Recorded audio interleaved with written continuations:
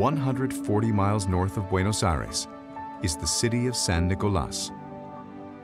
Since 1983, it has been known as the City of Mary. This is the most recent church-approved apparition site in the world. Each year, two million pilgrims travel here to pray at the sanctuary built at the very location Mary requested. Throughout Argentina, thousands of prayer groups have formed as a result, and many physical healings have been reported. For Bob Feeney, a Catholic author who has dedicated his life to spreading Marian devotion, it is a place of unique inspiration. Until now, this apparition and Mary's message of hope have not spread far beyond the confines of Argentina. But now, thanks to Bob's travels and new book on the subject, the veil has been lifted on Our Lady of the Rosary of San Nicolas.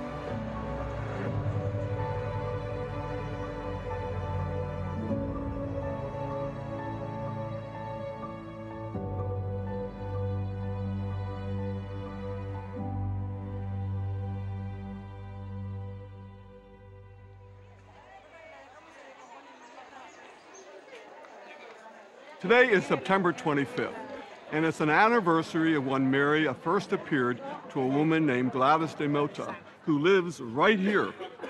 And Mary appeared to her from September 25th, 1983 to February 11th, 1990, with 1,804 messages that had been approved by the Catholic Church. And Jesus appeared to this woman 68 times. His messages have also been approved. Each year, on September 25th, hundreds of thousands travel here to show their devotion to Our Lady of the Rosary. In her messages, Mary continually implores all to keep hope alive. She calls hope a wealth from God. Mary's sanctuary in San Nicolas is a site renowned for repentance and conversion, for messages that call us to a meditative praying of the Rosary, and for its appeal to the young. La procesión, sobre todo los 25, aquí es emocionante. No hay palabras. Así que la, procesión tiene un enorme, un enorme significado. Pasa que es un poco la vida, la procesión es la vida, ¿no? Este, ya que esta vida es una peregrinación y bueno, es como peregrinar con María, es caminar junto con ella.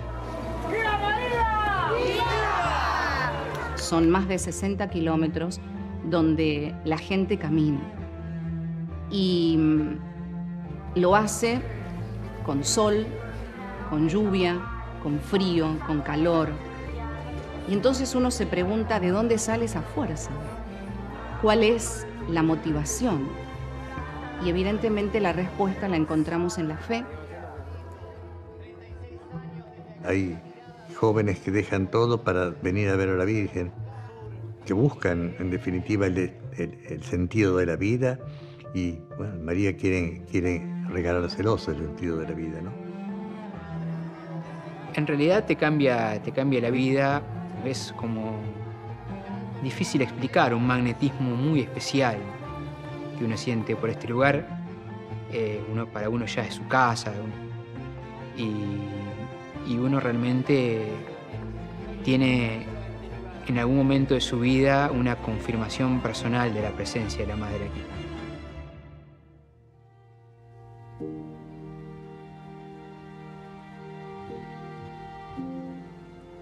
On October 7th, 1983, the feast of Our Lady of the Rosary, Mary appeared to Gladys de Mota. Mary was holding the child Jesus. Together they held a large rosary in their hands. Mary's image faded, and a chapel appeared. Gladys understood this to mean that Mary wanted a sanctuary to be built. After rigorous investigation and discernment, Bishop Domingo Castagna is convinced of Gladys's authenticity. He laid the foundation stone on September 25, 1986, the third anniversary of Mary's first visit to Gladys. Yo creo que la gente, los santuarios son los grandes pulmones de la fe, yo diría, ¿no? Donde la gente viene a respirar su fe auténtica, ¿no? Este, y viene a acercarse a Dios. Esto es fundamental, ¿no? Es una cosa que yo procuraba eh, inculcar a través de mi predicación durante esos 10 años que tuve en San Nicolás de los Arroyos. Este, todo esto es para conducirlos, la Virgen, para conducirlos por el camino de la fe a Jesucristo y a la Iglesia. A unique aspect of this Marian apparition is Mary's frequent invitation to read Holy Scripture. With only a fourth grade education, Gladys lacked deep knowledge of the Bible or theology. Yet in her messages, there are more than 200 Scripture references. Her messages encourage us to apply Scripture to our everyday lives. Entonces, Biblia y tradición, dos grandes, las dos grandes este, columnas, digamos, del, donde se, cimenta la fe católica. Pero las revelaciones privadas tienen la función de ayudarnos a despertar, a tomar conciencia de que la revelación, la palabra de Dios existe y que tenemos que conocerla. Curiosamente acá en San Nicolás se ha dado algo muy importante, fue, creo que fue, me parece la, primera, el primer lugar donde apareció esto, las citas bíblicas, eh, que es lo que la Virgen quiere, llevarnos a Jesús llevarnos a su palabra, ¿eh? convertir nuestra vida por la vida sacramental en el seno de la iglesia. Eh, es muy, muy completo. I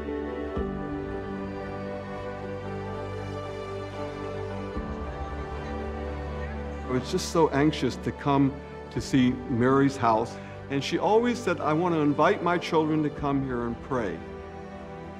I read in the, in the messages that Mary encouraged us when we come here to go to the statue and look in her eyes and contemplate her eyes and see in her eyes her great love for you.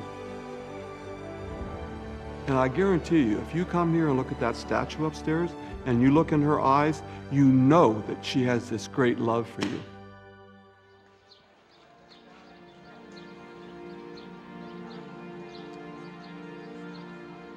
I found myself having a hard time talking.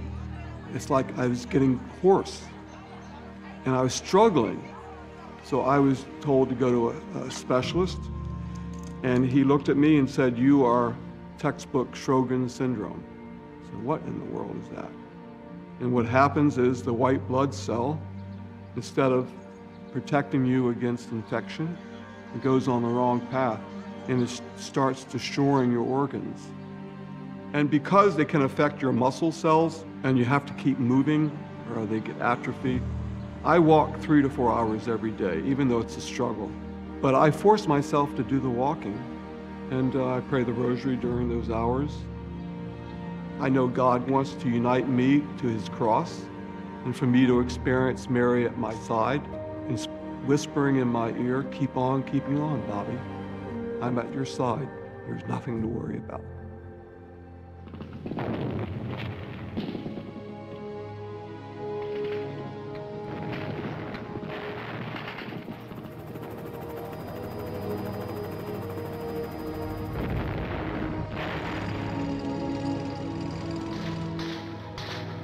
It's amazing how Mary worked in my life. I was drafted during the, the worst time in the Vietnam crisis, the Tet Offensive. And I said, I gotta learn how to pray. Because if you watch television, you see all these 19 year old boys coming back in body bags. And I said, you know, that's what I'm going to do. I'm going to learn to pray the rosary. Then I got my assignment, and uh, it was to Vietnam to enter into a, a search and destroy unit. We were in armored personnel carriers, and they held about six guys in there. And on one day, in 1968, the Vietnamese communists were waiting for us they set up a barrage of, of gunfire, grenades, RPGs. And uh, I got knocked off the APC carrier on the ground, and all the other guys in the APC carrier were killed except my Polish American friend. I had shrapnel from my ankle all the way up to my chest, and I was literally in a pool of blood. And I knew I was dying instinctively, I said, in a low voice, I said, Mary, please help me. And my friend heard that. And he came over and did everything he needed to do to prevent me from bleeding to death. And even though the communists were still firing at us, he dragged me back 50 yards and called in a helicopter and medevaced me to Saigon for surgery.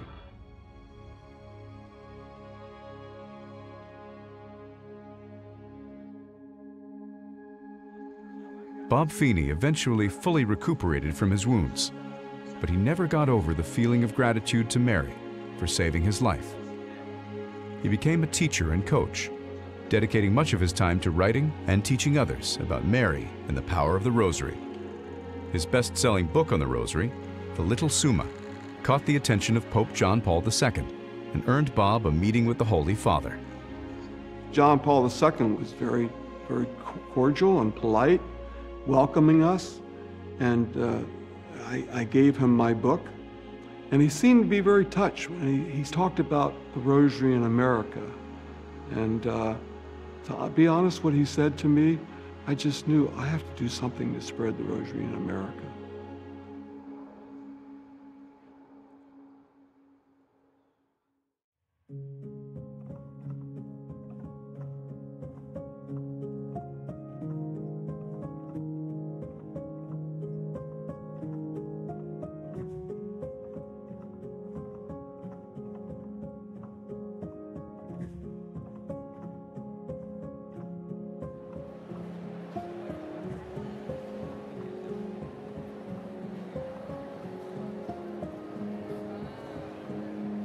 Hay infinidad de mensajes sobre la oración.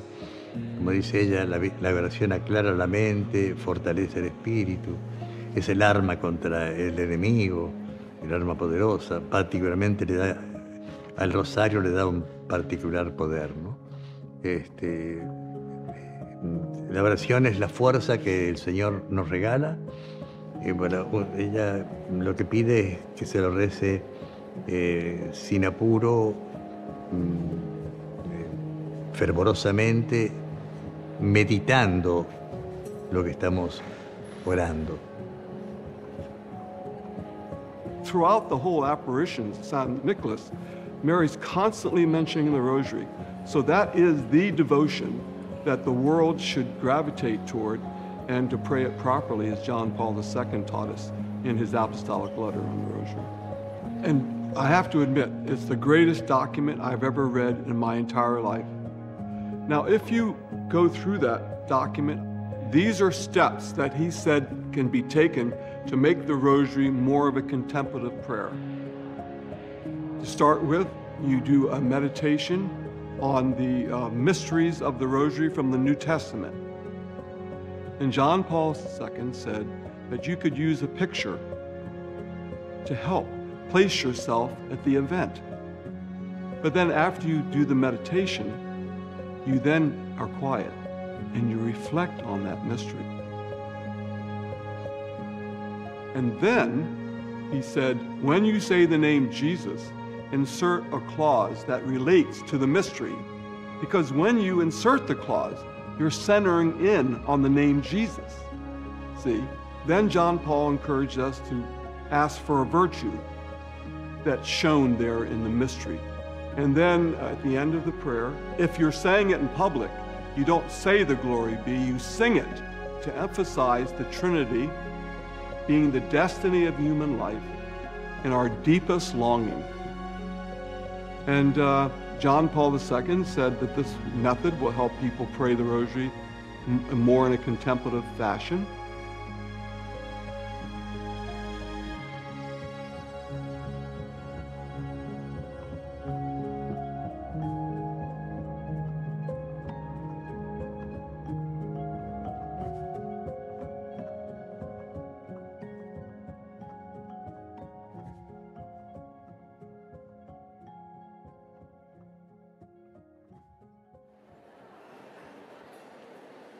Gente iba allá a confesarse y a comenzar una vida cristiana, una, vida cristiana, muchos de ellos sabemos. Yo creo que es el síntoma más claro de que es de Dios una cosa, ¿no? Cuando la gente se acerca, decide cambiar su vida a través de una buena confesión, acercarse a la Eucaristía y comenzar una vida distinta, nueva, ¿no? eh, a partir de entonces. Eso, eso- eso es un poco la característica, es como el signo de autenticidad de, este, de estos fenómenos. como rector del santuario es experimentar a través de la gracia de la reconciliación eh, la transformación del corazón, el acercamiento, el cambiar de vida. ¿no?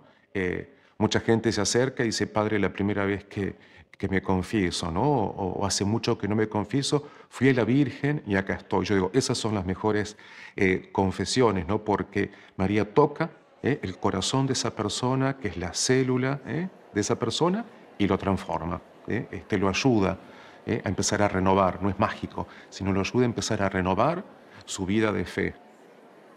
Yo creo que ella está apuntando a un renacer de la fe en un contexto mundial de secularización.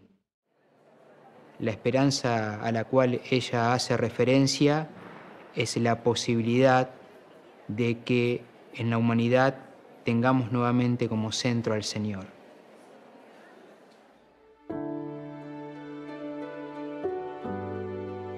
On December 12, 1983, Mary called for a special novena and promised a special grace to all who recite it. She stated that I want this novena known all over the world, and I want people to respect my request that everyone recite it.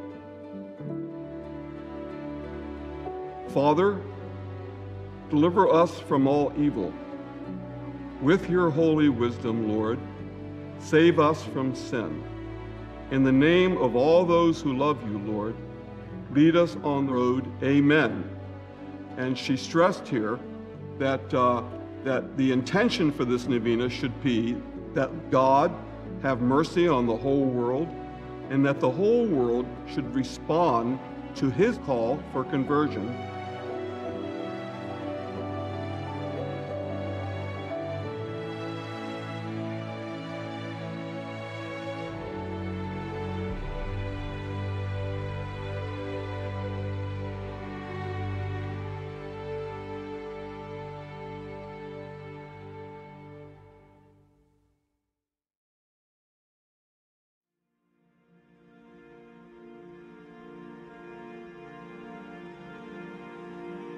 La consagración mariana es la mayor expresión del culto a la Virgen y la, seguridad y la certeza de que con María todo lo podemos.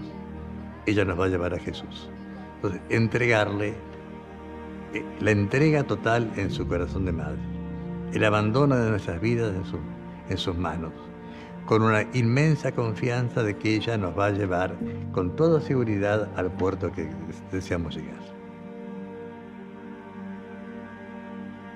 There is a prayer that she specifically mentioned uh, as a way of consecrating yourself to her mother's heart. This prayer was given by Mary on August 10th, 1986. May God grant me the grace of living for you, of loving your heart with all my being, and may you, Mother of mine, be the one to cleanse my soul and purify it.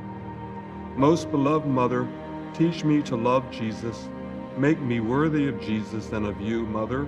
And may this day's consecration unite me even more to you and to your Son. Amen.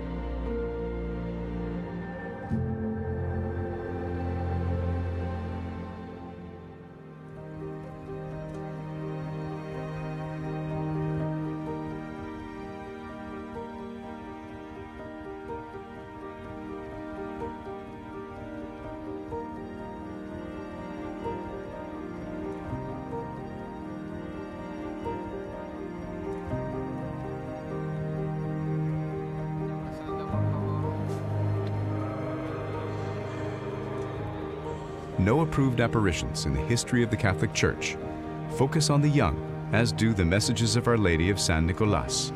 Our Lady stresses that youth are being pulled further and further from God through rampant sin, materialism, and consumerism. Mary expresses her hurt at the many who reject her voice, and she warns the world that her heart must be embraced to hold off the justice of God. Yet, ultimately, Mary's messages insist that we are not abandoned to this current reality. She has given us the tools to redirect our souls to God through her motherly heart. And the ultimate tool is the Rosary. Este santuario y, y realmente mm, mm, Nuestra Señora del Rosario nos ofrece eso, el rosario, esa oración tan maravillosa que nos permite acercarnos a, su camino, a su andar.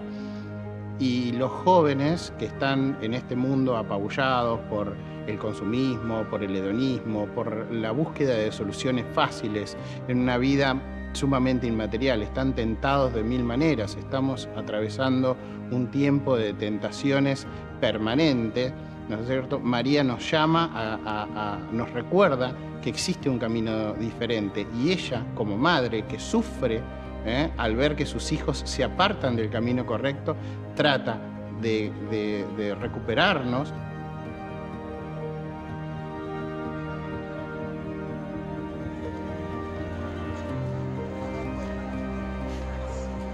Here we are, uh, right in front of Gladys DeMotta's house. And you notice a lot of young people are here. And in Mary's messages to young people, she says, enter into my heart, enter into my heart. How do you do that? John Paul II said, you enter into Mary's house by praying the rosary, praying the rosary with meditation on the mysteries. And so we, we look to the young people as being the hope of the Catholic Church, the hope of the world. And my prayer is the young people will lead the crusade uh, for the rosary to bring peace in the world. Now this here, San Nicholas, is the beginning of the triumph of Mary's Immaculate Heart. So we have to have hope, and as I've always said, you got to keep on keeping hope. Viva, Viva la Virgen!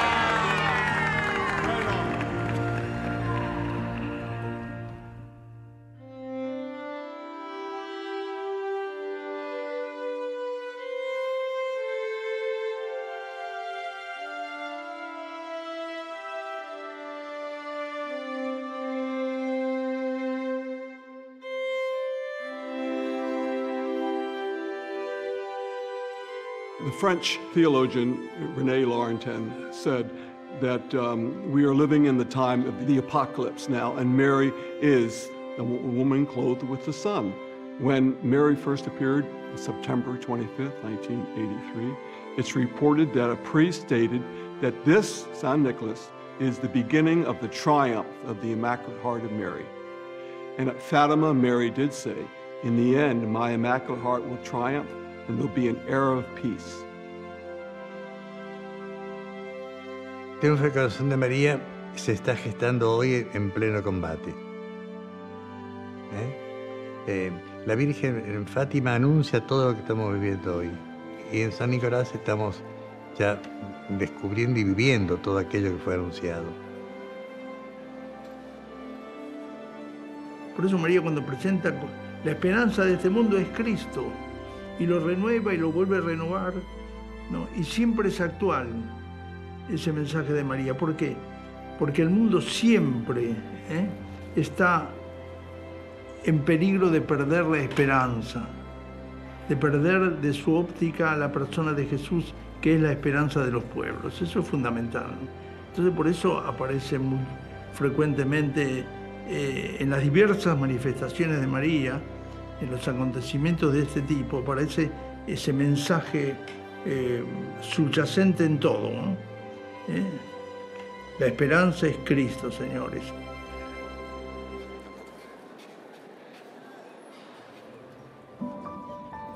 In Jesus' final message in San Nicolas, he said, Today, my mother is the ark.